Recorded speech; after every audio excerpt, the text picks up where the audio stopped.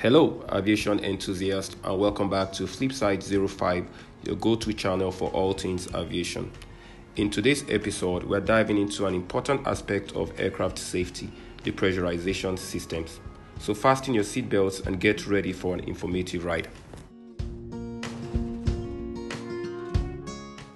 Before we delve into the intricacies of aircraft pressurization, let's take a moment to discuss the devastating Helios Flight 522 crash.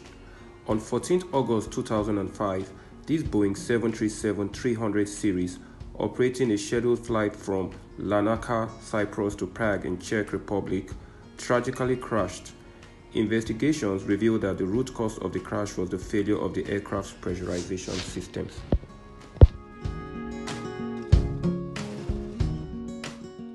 Before takeoff, flight crew failed to correctly set pressurization systems. During climb, at 16,000 feet, the captain reported two problems takeoff configuration warning and equipment cooling system problem.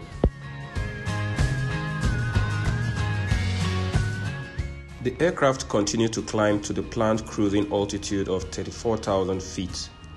At approximately 18,200 feet, during climb, the oxygen mask of the passengers deployed.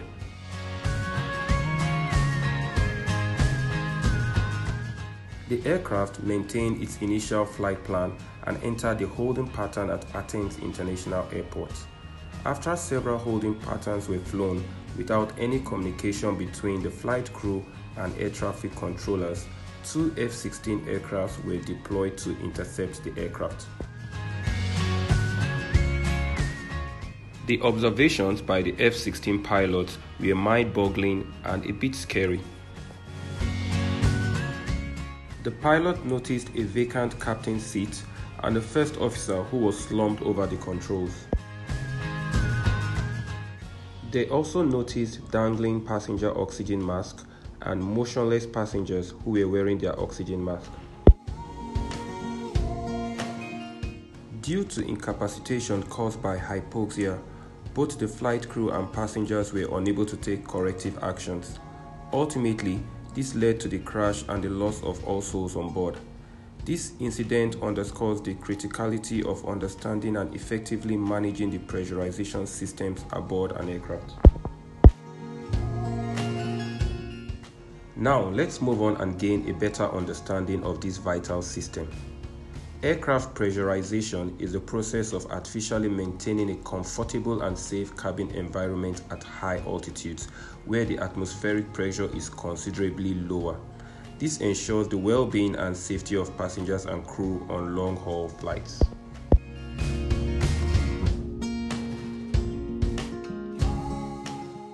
Now, let's talk about the components crucial for an effective pressurization system.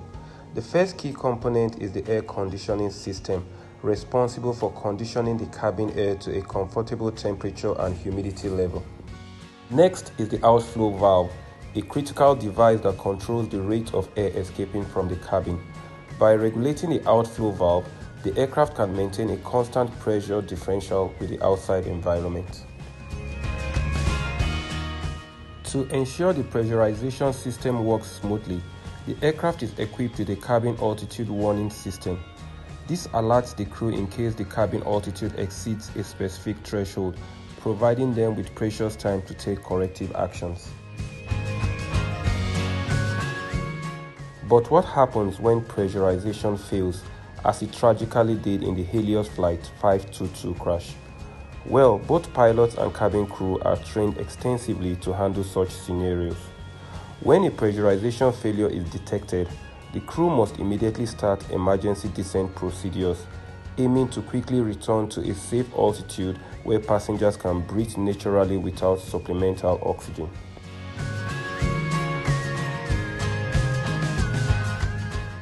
It is worth noting that while the crew follows emergency procedures, they also communicate with air traffic control to inform them of the situation and the need for a rapid descent.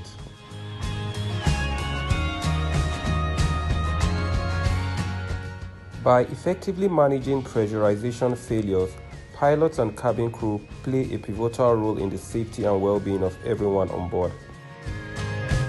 There you have it, folks the pressurization systems of aircrafts.